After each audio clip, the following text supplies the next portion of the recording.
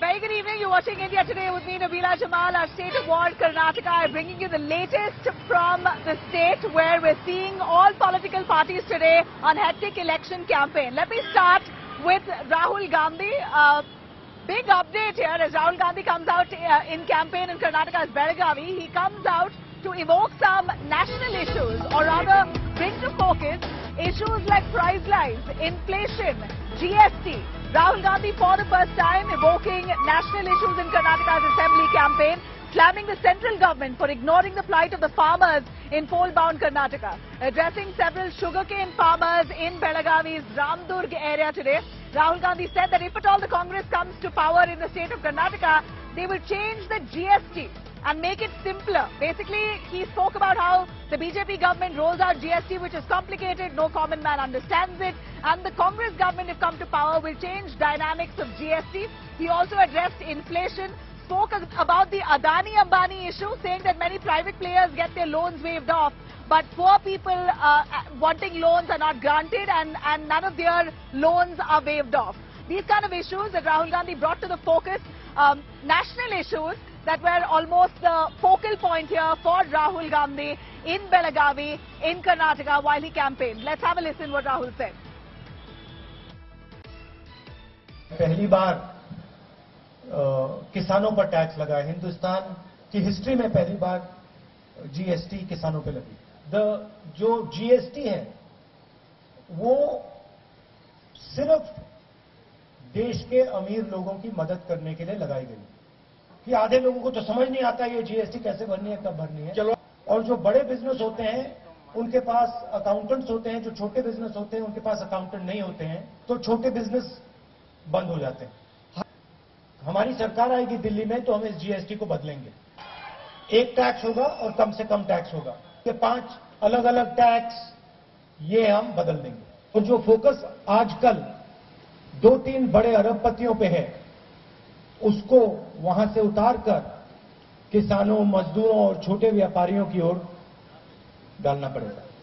आज अरबपति बैंक से कितना भी लोन लेना चाहते हैं, ले सकते हैं। अदानी जी के, अंबानी जी के लाखों करोड़ रुपए बैंक लोन। बैंक में जाते हैं, एकदम पैसा मिलता है। और अगर कोई मुश्किल होती है, अरबपतियों का कर्जा माफ़ हो जाता है। मगर किसानों का लोन कभी माफ़ नहीं होता है। Writer All right, that was Rahul Gandhi bringing to focus national issues in the state of Karnataka. Very interesting to see uh, the star campaigners for uh, uh, parties like the Congress, of course, are trying to um, evoke issues of national significance. So the question that we now uh, are forced to ask is, is Karnataka's election stage almost a pre-decider what comes forward in 2024? I'm right now in Bengaluru's iconic uh, structure here, Town Hall, standing in right, right in front of this place where you see all kinds of protests. Anyone wanting, wanting to protest, Town Hall is really the spot that they come by, almost celebrating uh, democracy in our country. This is the spot, the Town Hall, where you have people really coming out vocally expressing their opinions. Now let me cut across to all the poll campaigners. We have all the biggest uh, top stars of all political parties out on the campaign trail today. Uh, here are some of the visuals coming in from uh, Mysuru region where we saw Amit Shah who uh, is the Home Minister and the man known closest to Prime Minister Modi who was campaigning across the old Mysuru region, very significant to Karnataka's politics, right now known as the bastion of the JDS and the Congress. Old Mysuru region seems to be the focus for the BJP now, really trying to tap into that vote bank. Uh, Amit Shah, National Party President, also JP Nadda was there. He was holding a roadshow. Amit Shah held this massive roadshow in Hassan district of Karnataka where he launched a scathing attack at the grand old party, the Congress, accusing them of being corrupt. You also saw Mallikarjun Kharge, uh, the Congress president, also rolling out uh, his uh, campaign where he promised ahead of polls free electricity for the state of Karnataka, um, some units of free electricity and monthly allowances as well. But I'm going to cut across to Amit Shah. What he spoke in, uh, in response to all the Congress's allegations, this was his exclusive interaction with India Today's Nagarjun Dwarakanath. JDS family आपको बोलते हैं American president भी आ जाए Russian president भी आ जाए, इस ज़िले का लोग जेडीएस के साथ है। ये उनका अहंकार है। लोकतंत्र में कभी एक परिवार का शासन नहीं चल सकता। जनता ये स्वीकार कर रही है और मुझे पूरा भरोसा है कि हासन की और कर्नाटक की जनता पूर्ण बहुमत का भारतीय जनता पार्टी का शासन लाएगी सर, ओल्ड मैसूर रीजन में आपका इस बार बहुत ज़्यादा कंसंट्रेशन है, सर। क्या एक स्ट्रैटेजी है कि हैदराबाद, कर्नाटक के अलावा ओल्ड मैसूर भी आपका स्ट्रांग होल्ड है? निश्चित रूप से इस बार ओल्ड मैसूर रीजन में भारतीय जनता पार्टी को बड़ा विजय मिलेगा। अभी आके मैं एक रोड शो कर कर आया, इसके विजुअल देख लीजिए। अगर रोड शो में पचास हज़ार से ज़्यादा लोग अगर आते हैं तो वो सीट निश्चित रूप से हम जीत सर ऑल्सो कांग्रेस की जो नेता जो है वो वो च- वो चैलेंज कर रहे हैं कि अगर बीजेपी के बीजेपी की ताकत हो तो एक लिंगायत अगला मुख्यमंत्री बनेगा इसे डिक्लेयर करने के लिए बीजेपी का सवाल है। बीजेपी का तो मुख्यमंत्री लिंगायत है ही। कांग्रेस जरा घोषणा करे। उनको घोषणा करनी है। उन्होंने हमेशा लिंगायतों का अपमान किया है चाहे वीरप्पा मोइली हो चाहे निखिलिन जगप्पा हो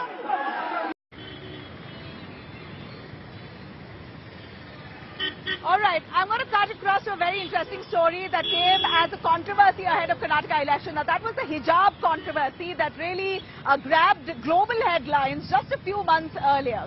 There were some girls who really fought for wearing the hijab inside educational institutions. Many of them were heckled, uh, and there was a lot of pushback. The state government of Karnataka also reached the high.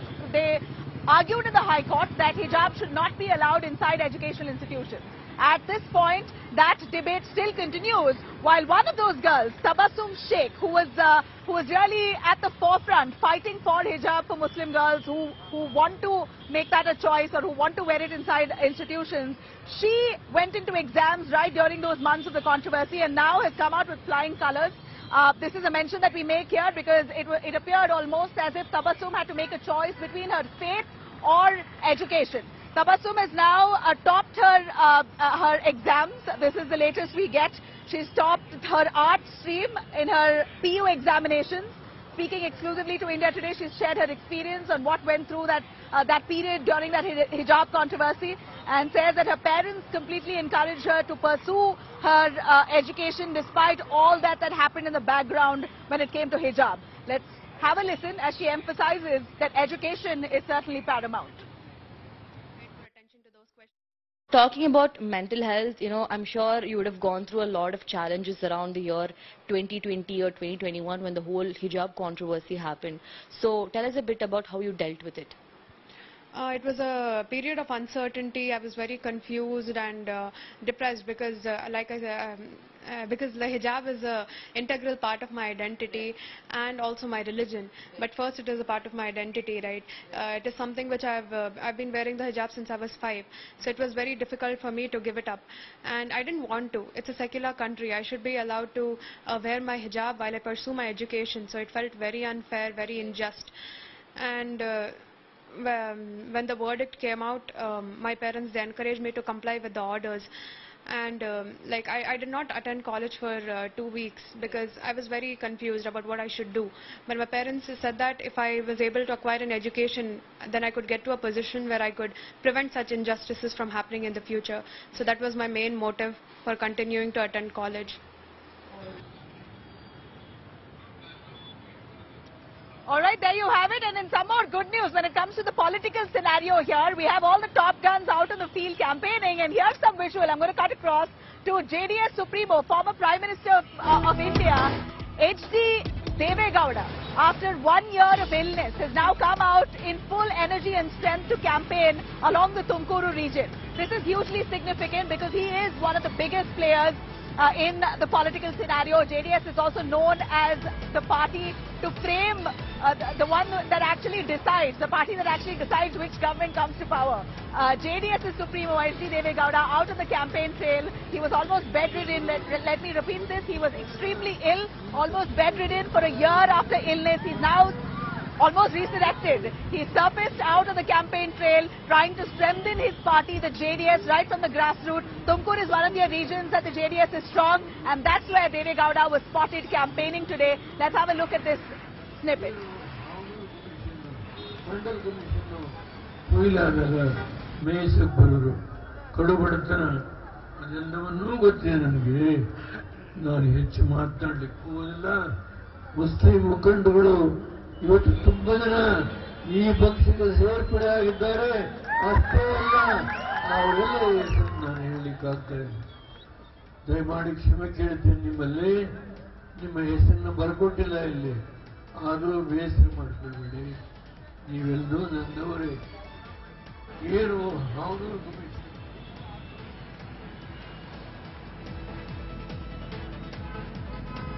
All right, that was Deve Gowda addressing a huge gathering there. Uh, he is unable to really walk at length, but he is managing to campaign for his party, the JDS. And today it appears was a very important day because uh, let me give you a, a, a quick word on what happened in Mandya. Mandya, a very important area for the JDS.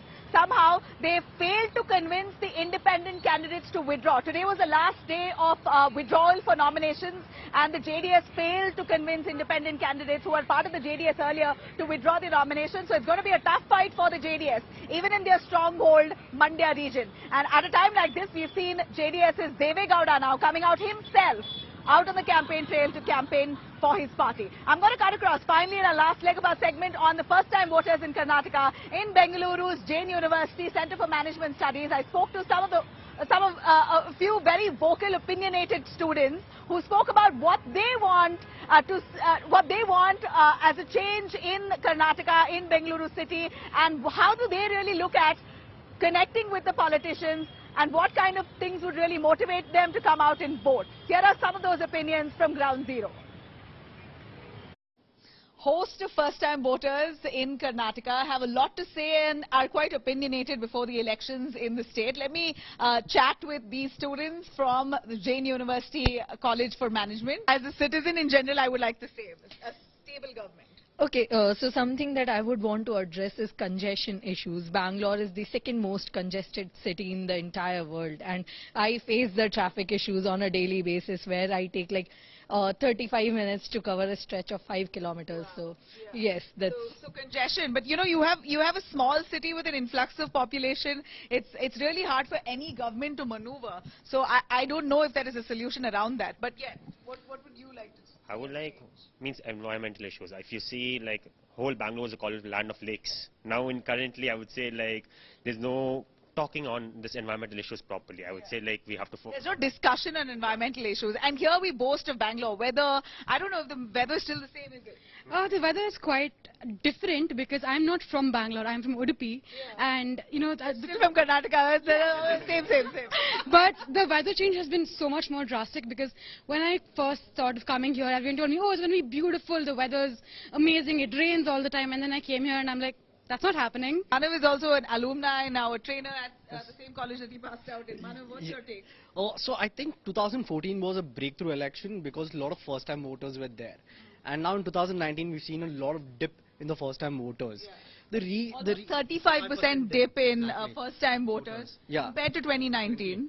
yeah, compared to Com- 20. compared to 2014, yes. Right. So what's happening is, I think uh, the educated youth, uh, now we expect you to give us a roadmap to the manifesto and not just a manifesto. You tell me how you're going to fulfill the promises rather than just promising.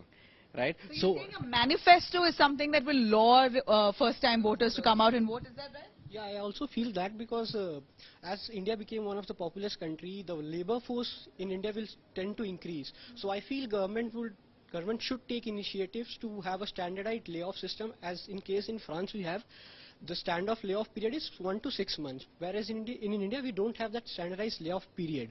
So I feel uh, government should take stand steps in order to improve the working condition as well as to ensure the security for the laborers in India. Somehow there's no plan that is concrete. You're, you're always making plans and scrapping it, but when it comes to actual uh, a layout of a, of a city or a state, you can't do that. It's, it's not, you're not writing it with pencil and rubbing it with rubber. Yeah, so my, I would like to bring light on the EV policies that our government has brought. So there's been, there's been a significant jump in the EV registrations in Bangalore, and I just love the sound of EVs roaring around, and I believe it's really a very great initiative by the government for the environment as a whole. Okay, electric vehicles, but where are the plug points? I went to a mall the other day and it said EV station, like they had e uh, specifically parking uh, for meant for EV vehicles. But they had no charging points. So it's like they are welcoming the move without actual infrastructure building. More towards, I, more towards I only see normal gas-powered cars in the EV parking spots nowadays. Gas powered. Oh yeah, that, that also. Well, I think it all boils down to very two simple points. One is about the distribution in terms of civic bodies that are present, which cause a lot of difficulties in terms of utilities that are used by the common man. Mm. Two very simple examples is one, like you mentioned, the EV sector that's already present.